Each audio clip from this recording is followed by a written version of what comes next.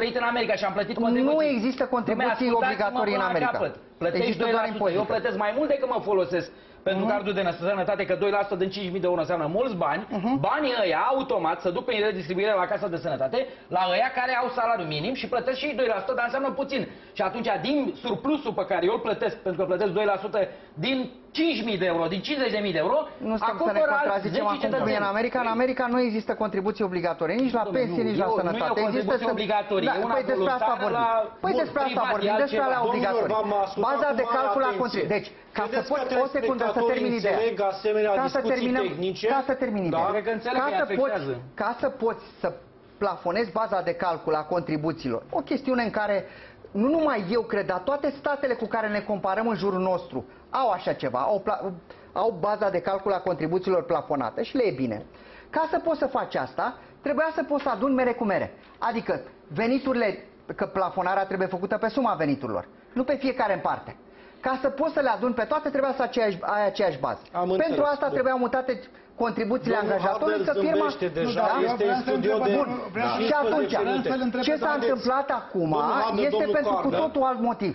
Am Da? înțeles. În Uniunea Domnul Europeană, Harder nu și avem domnul în- Coarda. în Uniunea Europeană un stat care a, a transferat contribuțiile doar în stațiunea angajatului? Nu există transferuri, există, Nu, nu, nu, defi- nu. există practici diferite. Nu, nu, nu. Domnul, domnul, Nu, eh, răspunsul știți, este nicio nu țară. există Nicio niciun, țară. nu Răspuns există, corect, nu răspuns există o, corect. po- nu există o uh, uh, soluție unitară aplicată Încă o în dată. toate statele Eu europene. întreb așa. Nu există activ comunitar pe subiectul mulțumesc, ăsta. Deci, domnilor, astăzi că... l-am Da? văzut pe președintele României Am văzut. spunând explicit Vara, că da. ar trebui să-și dea demisia Liviu Dragnea. Asta înseamnă o declarație de război explicită. Și noi discutăm despre economie, ce se întâmplă în societate, încercând oarecum să ignorăm factorul politic.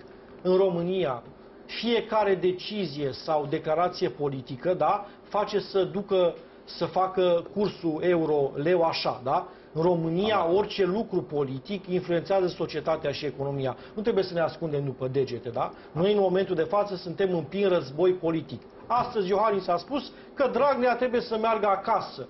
Iar Dragnea guvernează, totuși, cu o majoritate. Asta este teza. Oamenii ăștia, în loc să se pună la masă, să vadă ce fac cu țara asta, o țin în războaie și în declarații și în dosare penale. Asta e, cu asta, despre asta discutăm de fapt. Așa este, domnule Mănăstire. Mi-ați cam luat din uh, ceea ce voiam să spun. Și eu N-am cred intenționat, că, da? și eu Asta cred e. că neînțelegerile acestea vor dăuna tare mult uh, poporului. În aceste momente toată lumea se întreabă, studenții mei, foștii mei studenți, angajați proaspăt în diverse locuri de muncă, încotro merge țara. Dacă avem Și ce vor ăștia vreo să facă țintă, cu ea, Da, de exact, fapt? s-au speriat de 4,65, 4,70, se aude, Doamne ferește, uh, un euro. Din păcate, așa o să fie. Se pare că Asta e viața. lucrurile sunt pierdute de sub control. Uh, Președintele are și el uh, temerile lui, dar eu aș vrea să-i spun că nu trebuie să se teamă de suspendare. Opinia mea este că nu se va ajunge acolo. Nu sunt Dar ce argumente. vrea de fapt președintele nu sunt României? argumente. Domnul Fiecare se Hader, poate și victimiza, să știți. Democrația asta, cum spunea Churchill, ca să-l citesc pe celebru, celebru Dragnea care cita pe Churchill, da? este o chestiune imperfectă, da? Dar asta este povestea pe care o avem. Altceva nu putem inventa mai bun decât povestea asta. Acum Iohannis ce vrea? Să-i dea afară pe A ăștia de răspuns la la o PSD întrebare. de la guvernare? Domnul Până ăștia au Iohannis, Este câștigat foarte- alegerile A răspuns acum la o un an de întrebare, zile. n-a Este ridicat foarte greu să se subiectul. Da? întâmple asta. Problema este că uh, taberele Dacă astea spune sunt atât... Iohannis mâine guvernul o să fie mai bine în sunt România, atât eu asta mă întreb. Taberele astea sunt atât de paralele, apropo de paralelismul ăsta despre care vorbeați la începutul emisiunii. În realitate, geometric vorbind, dreptele paralele, planele paralele nu se intersectează niciodată, dar ăștia se intersectează, domnule. Și statul ăsta paralel se mai intersectează, azi nu mai merg unii la alții, mai discută, nu prea e. Mai într-o sufragerie, România e paralelă da. cu legea. Domnul profesor e simpatic, ăla e stat mafios în paralel.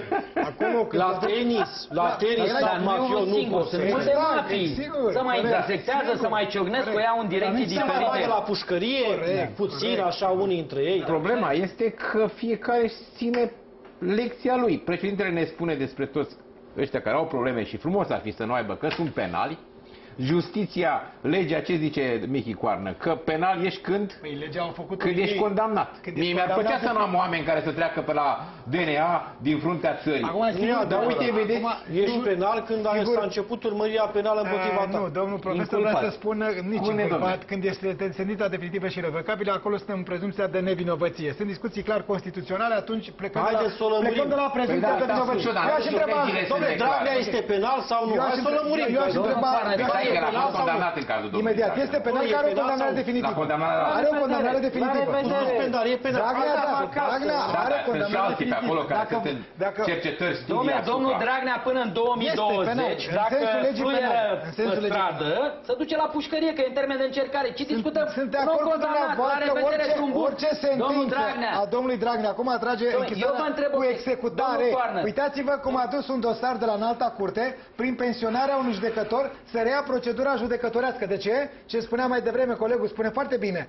Într-o sancțiune cu suspendare, orice pedeapsă acum, oricare judecător din țara asta nu poate să emite decât o sentință după suspendare cu executare. Eu am o Asta întrebare este simplă problema. la, la, la, toți, la, la toți de aici. Aici nu sunt de acord cu domnul Biriș. Repet, domnul Biriș, vă spun așa.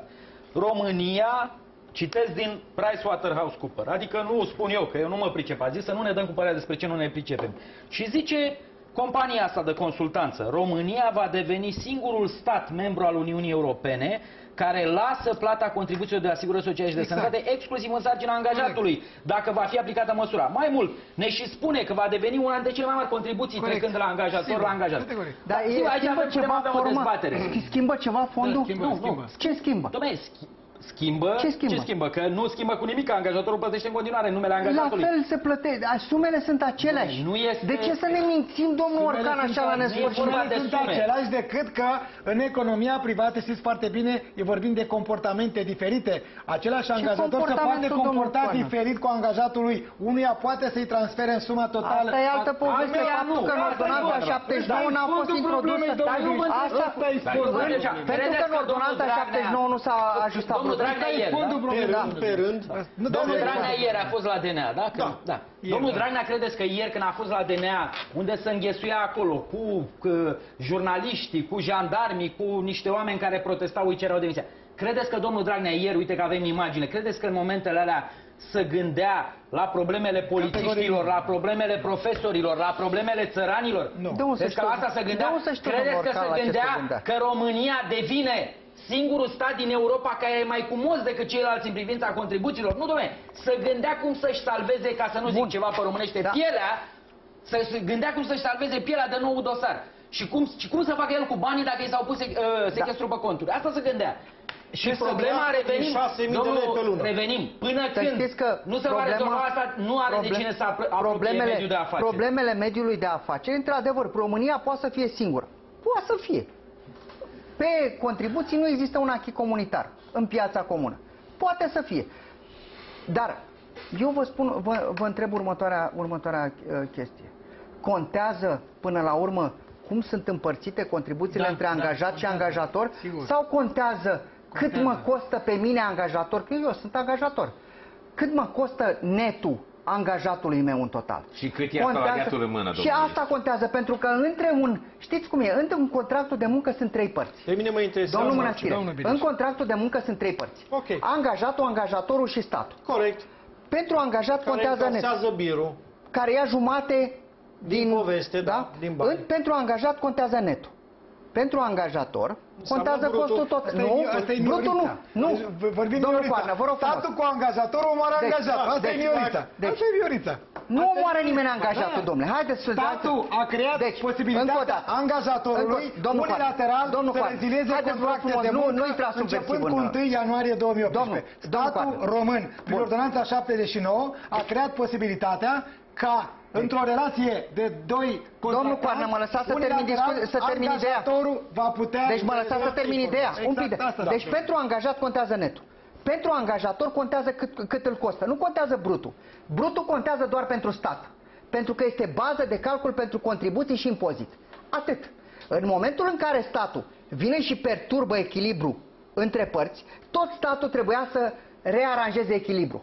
În așa fel încât din această amestecătură să nu aibă de suferit netul Cum? și costul total. Cum, domnule Biriș? Păi dacă La un salariu de brut de 4.000, cum făcea statul român?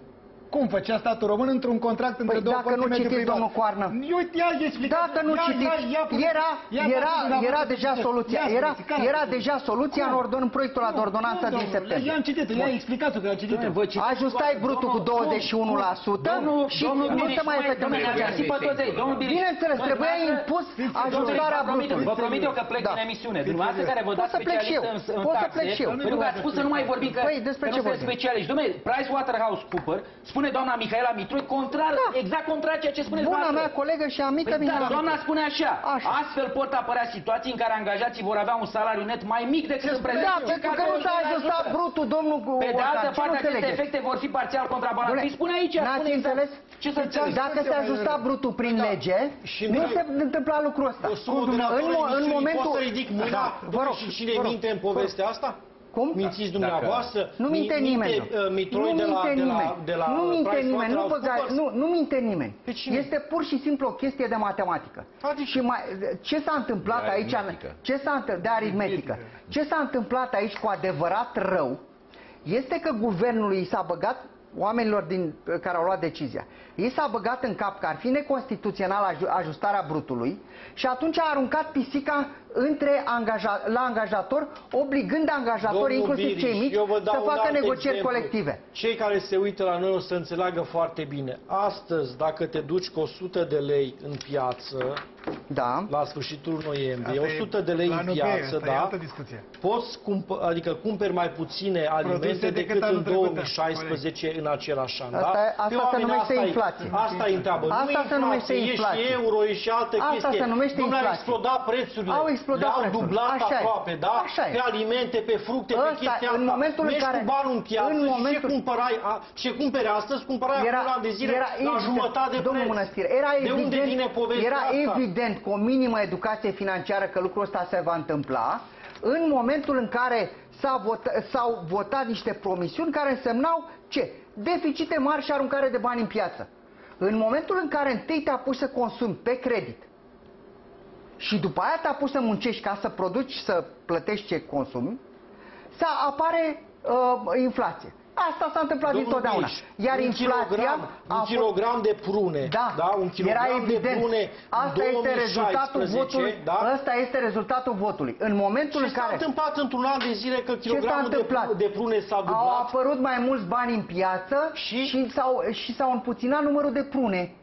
Ah. Pentru că, da? Nu e adevărat, trecut Ba da. de prune a Nu, rămas prune același. a rămas ident. Prune Au în apărut România, mai ce mulți să bani vezi, în piață. Sunt foarte Am zis-o, eroditori. am zis-o Da. uh, generic. Nu, nu duceți pe Au criza apărut, de prune. Au apărut, nu, nu e criză la prune. nu, Dar să bine. știți că s-ar putea fi, se că poate n-a fost face un și an noi, bun. ne-am dus N-a după fost- fentă toți, Da, ascultați, deci în exact, momentul, exact. Dom'le, în ne-am momentul dus- în care s-a domnul aruncat Biliș, bani, ne-am da. dus după Da, fentă. domnul Orcan, Băieții ăștia știți că fac poți să fente se cu... ridică. Ne-am dus după Da? fentă. Aici ați de acord cu Băieții Sabin ăștia la Orcan. PSD ne fentează cu angajatorul ca să mai întâi dă un proiect, zice Tudose la Așa. comisia de presă. Nu-s de acord. Nu, Noi că- ne batem cap Că voi cu fi o mizerii ministru de-astea. de schimbă. După aia vine Ministerul Finanțelor. Dom'le, ăștia fac fente cu noi. Da. Cu din astea, contribuții, tu, în cinci oameni între ei, după care ei în spate se ocupă cu legile justiției, dom'le, că iau alte priorități. Pe domnul Dragnea îl interesează cum scapă de pușcărie. Pe doamna Bască de pe punere, domnul Neac și da? cum să-și angajeze fica fără să dea socoteală în fața Nu vă legii. contrazic, Au domnul alte- Organ, că Au alte nu vă- probleme, domnule, nu au vă altă contrazic agendă. aici. Zicea domnul profesor aici, Vă contrazic trăim pe în taxe, realități că acum mă paralele, pricep. domne. Oamenii ăștia de la Parlament și de la Palatul Victoriei au, trăiesc într-o bulă. Ei n-au treabă cu kilogramul de prune, cu angajatorul, cu angajatul, cu contabilitatea. prea au treabă interesează- cu nimicul dintre ei. Păi, dai, dai la populație, ține-i pe ăștia ocupați că noi avem treabă, să ne ocupăm cu legile justiției. Eu zic, Asta e domnul, minunea, de fapt. că a, Știți ce se hai să întâmplă? vă mai audim Bună și voi să mai observație, zic eu domnul ceva. Hader. Vă rog Ce frumos. spunea Sabin Orcan, da? Există România politicienilor de la vârful Da. uh, guvernării, cum este Tăiceanu, cum este Dragnea, care are, un anumit, care are un anumit tip de preocupări, cum spunea Sabin. Fiecare cu justiția, Tăricianu are obsesie, a făcut un fel de obsesie compulsivă față de Laura Codruța Chioveși, da? Când de fapt oamenii ăștia, repet, cred că și reciproc. Oamenii ăștia au fost votați în decembrie, noiembrie anul trecut să guverneze, să facă prosperitate. Uitați-vă în programul de guvernare a PSD-ului și dacă îmi găsiți un articol legat de justiție sau de modificarea legilor justiției, eu mănânc programul ăla de guvernare. Oamenii ăștia au vorbit despre, prospe- despre prosperitate, nu despre alte povești. Haideți să vedem ce obsesii îl pasionează pe Tăricianu. Știți că Ministrul Justiției a spus că va lua curând o decizie în ceea ce privește posibila Da, știu. revocarea domniei sale din funcție.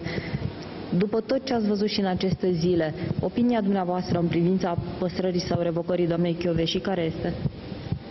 Uh, Am să vă spun ceva. Uh, Având în vedere că procurorul șef al DNA funcționează sub autoritatea ministrului, cred că este bine să lăsăm ministrului justiției să analizeze uh, toate elementele pe care le are, adică raportul uh, inspecției judiciare, alte elemente pe care le consideră și să tragă concluziile. Uh, Vreau ca să înțelegeți că respect principiul separației puterilor în stat, nu vreau să intervenim noi ca Parlament în ceea ce înseamnă funcționarea uh, procuraturii și cred că trebuie, așa cum v-am spus, eu cel puțin am să mă abțin în a face comentarii în acest sens. Limbajul ăsta, uh, limbajul ăsta foarte, foarte mieros autoicianul, de fapt vrea să ne spună așa. Nu ne implicăm, nu avem nicio treabă, deci când un politician spune că n-are nicio treabă, înseamnă că are o treabă foarte mare și se bagă foarte adânc în povestea asta. Deci Tăricianu, e opinia mea, repet, pentru domnul Dracenia, Tăricianu i-a trasat sarcină lui Tudorel Toader să ceară uh, de, demiterea lui, uh, lui Laura Am Codruța uitat Chioveși. să Asta e povestea. Am uitat să-i spunem domnului uh, inginer, uh, nu știu, oare de ce e inginer Tăricianu? De construcții. De construcții. Construcții Domnul inginer mașini, de da. construcții că... Nu, nu, construcții uh, civile. Construcții, Construcții civile, civile. da, e Domnul, perfect. e civil. Am uitat să-i spunem domnului Tăricianu, un inginer de construcții civile, care văd că e un mare specialist în drept și cunoaște multe finețuri de ale și dreptului. libertăți ale individului. Da? Că Și- procurorul șef al DNA, chiar dacă are o anumită autonomie definită prin lege, funcționează conform legii de organizare în uh, subordinea uh, procurorului general întâi și după aia mai la vale e Constituția și Ministrul Justiției. Domnul Tăricianu cred că își închipuie că domnul Toader pe care l-a pus el acolo că de acolo vine domnul Toader, nu vine de la PSD, de la... Păi și-a și asum- ori e din și-a Teleorman, asumat-o. ori e de la ALDE, știi? Nu e Și-a din Teleorman, asumat-o, deci e e de la de la ALDE. ea, și-a asumat-o și Crede că Toaderul domnul ăsta, da? Toader pune mâna pe telefon și spune lui Chioveși, ia bă, fă bagajele azi, mâine să fie liber birou. Știi, el așa crede că funcționează. Păi de-aia l-au nu pus funcționează ministrul așa. justiției. Pe Dom'le, cum nu nu? funcționează așa. Până când o să aibă ei regulile lor, că asta încearcă să schimbe regulile acum. Până o să aibă regulile lor, deocamdată nu funcționează așa. Da. Și sigur că sunt probleme de ambele părți, dar repet, eu îi întreb pe toți oamenii care se uită la noi. Au încredere că oameni precum Tăricianu și Dragnea își doresc o reformă a justiției reală pentru a apăra drepturile omului sau ca să-și salveze, să nu zic pe românește, ce să-și salveze, Dragnea și cu Domnul Tăricianu. Orcan, Până acum, dacă justiția asta independentă din România făceau treaba serios, domnul Dragnea nu mai era pe aici. Aia e adevărat. Păi Asta e bună. discutăm așa, Aici suntem de tot acord. Tăricianu. Dar la domnul Dragnea sunt atât de evidente niște lucruri, dacă te duci în situația de fapt la conturi, vile, mașini și la funcțiile pe care le-au ocupat doar publice, ce-o face anii, anii, nu anii de la țară, anii de la București aici? Ce-o face? Draga nu de verifică ani. și ei, draga Domnilor, de ani. eu nu știu ce verifică obsesie are diferența? domnul Tăricianu, nu m-am uh, concentrat foarte adânc la ceea Pe ce a ea spus oare cu domnia DNA sa. obsesia asta? Da, și cu dar să Chioveși, știți că mai degrabă astea sunt antipatii. Eu dacă vă spun uh, că dacă îi băgați pe ăștia doi câte doi în uh, fie, fiecare într-un birou și le dați două pistoale, nu este decât unul de acolo. Amândoi niciodată nu vor ieși. Adică Credeți? nu vor ajunge la negocieri. Eu cred că Hai este de împușcat mine, doar nu vor poporul ajunge român și niciodată. două- Nu, nu, sunt, sunt antipatii groase, puternice, Michi. Îți spun că Între îi cine, simt. la cine vă referiți? Uh, deci, doamna care e Cioveși și singur- cu domnul știți care- Tăricianu. știți Și care- așa mai departe. știți care e Domnul- singura lor Am spus antipatie? ipotetic. Domnul Da. Hader, domnul Hader zice de fapt ceea ce știe toată lumea în zona asta publică sau semipublică. Există o bătălie pe viață și pe Absolut. moarte în România, este o bătălie Fiecare pe cu interesul libertate, său. este o bătălie pe pușcărie, dragi Da. telespectatori. Iar în legătură da? cu domnul Unii se profesor luptă Toader, ca să pe care îl scape de cunosc- pușcărie. Asta este povestea României și să salveze banii pe care au făcut în ultimii Iar în 20 de legătură ani de cu domnul- pseudotranziție. Asta e fondul Luăm problemei. pauză comercială, după publicitate o să vedeți un scandal absolut halucinant, da? Absolut halucinant în sânul Serviciului Român de Informații. Un, un înalt șef din SRI, un general SRI, da? Și-a făcut un cont de Facebook fals. Da? Un cont de Facebook fals Asta cu ne care a lipsea. început să interacționeze cu judecători, cu jurnaliști, cu procurori. Domnul Biriș. Permiteți să vă mulțumesc pentru invitație și să mă retrag. Pentru Da, că cum n-am să nu, ce- cum să nu. Mulțumesc Foarte mult de bine. tot. Și vă mai Mulțumesc invităm mult de tot. atunci când economia reală o să vă lovească. Am înțeles că sunteți, sunteți foarte uh, câștigat după măsurile PSD-ului, deci Da. sunteți un om fericit. Foarte mulți oameni nu sunt fericiți Ceea ce nu mă după bucur. măsurile Ceea ce nu mă PSD-ului. bucur. Da? Ceea ce nu mă Dumneavoastră bucur. sunteți un câștigător Ceea ce nu mă bucur. al Revoluției Fiscale Bolșevice a PSD-ului. Absolut. Mulți dintre noi nu Marele suntem, da? câștigător, să Nu avem știți. ce să facem. Da? Asta e viața. Da, Domnul mulțumesc Biriș foarte mult. a câștigat după modificarea codului fiscal a PSD-ului. Noi, din păcate, n-am reușit să ne uh, salvăm Aveți și dumneavoastră după foarte mult de revoluția asta. câștigat Da? pe drepturi de autor. Pauză și revenim. Nu există un stat uh, paralel, că asta ne spune președintele României Claus Iohannis, astăzi uh, a spus explicit lucrul ăsta, haideți să-l vedem pe președintele României. Avem forțe politice care sunt la putere și forțe politice care sunt în opoziție. Este clar că există diferențe majore de abordare între aceștia, dar asta nu înseamnă că avem, nevo- că avem de a face cu un stat paralel. Avem abordări politice diferite și atâta vreme cât avem o democrație vie în România, acest lucru mie mi se pare ok, este în regulă. Da, nuanțat oarecum președintele României, domnul Hader. Da, a nuanțat. De fapt, și domnul Nu există Dragnea cred că a stat paralel. folosit o metaforă aici, că nimic nu-i paralel pe lumea asta, nimic nu-i perfect, cum se spune. Da, da, da, corect. Uh, Economia uh, României este, putem spune, și cu fragmente de paralelism. Avem și economie paralelă, una Țara gri, se alta prăbușește neagră. și oamenii ăștia se bat în Da, da, dosare. asta, asta e ce mă doare cel mai mult, pentru că am avut și în mandatul trecut al domnului Traian Băsescu, ultimul mandat, tot așa. Războaie, bătălii, lupte Da. crâncene, nu ne-a folosit la nimic. Se pare că n-am învățat nimic. În legătură cu uh, ceea ce va propune domnul profesor Toader, domnul rector Toader, pe care îl cunosc Adică foarte bine și ministrul în care am Justiției, da. încredere, da, uh, eu vă spun că dacă nu va avea argumente solide pentru a cere demiterea, pentru că trebuie să-i spună președintelui asta, nu?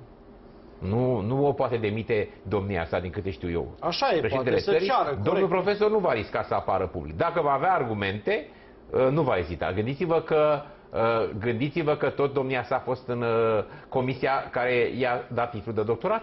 Și Domnul tot- Hader, vă întreb și a ceva, fost, a vă fost, întreb ceva a susținut sincer. că Că nu astăzi, plagiat. astăzi m-a întrebat un, un uh, urmăritor al emisiunii, un fan al emisiunii, da? Da. Dom'le, când scăpăm de oamenii ăștia ca să facem puțină liniște în România, să vedem ce facem cu țara asta, adică de ăștia, da? Vreau să scăpăm de și de Coldea, de uh, Dumbravă, da, General Serii, de oamenii ăștia care ne-au populat viața de 10-15 ani, să ne apucăm și noi de treburi, de Dragnea, vreau să scăpăm de Dragnea, vreau să scăpăm de Tudose, de toate figurile astea uh, mai mult sau mai puțin uh, uh, pozitive, da? Așa cum și nimeni, să facem ceva cu țara așa cum asta, nimeni da? nu-i perfect, nici Ne râde Europa, domnule Hader. știu. Ne râde Europa, suntem coada Europei. Deci nu numai că- Da? Am candidat pentru Agenția bă, Europeană a Medicamentului și nici măcar nu ne-am Nu calificat mi-am în pus nicio- finală. Au nu râs mi-am ăștia pus de la nicio Bruxelles că am speranță. îndrăznit Da, da, să, dar ca eu nu mi-am să, pus să nicio ne speranță. gândim. Da? Gândiți-vă că uh, orașele pe care le-au preferat, Milano, Amsterdam și nu mai știu ce mai era, tot un oraș mare, în scap al treilea, uh, erau cu mult deasupra sau sunt cu mult deasupra noastră. Nu și-ar fi dorit să vină aici. Știți că aici ar fi cheltuit mai puțin bani, că nivelul de trai este, așa Este cum o este, prețurile țară sunt mai în mici. care se întâmplă niște lucruri atât de groaznice, de amobina- abominabile, da? Încât este foarte greu să înțelegi de fapt ce se întâmplă în țara asta, da? Am descoperit de fapt de dimineață au apărut informațiile, un înalt ofițer SRI general, da? Și-a făcut un cont de Facebook fals, în limba armeană, da? În limba georgiană, da? și pe contul ăsta de Facebook a început să dea mesaje, să facă politică. Repet, un înalt ofițer SRI făcea politică pe Facebook, da?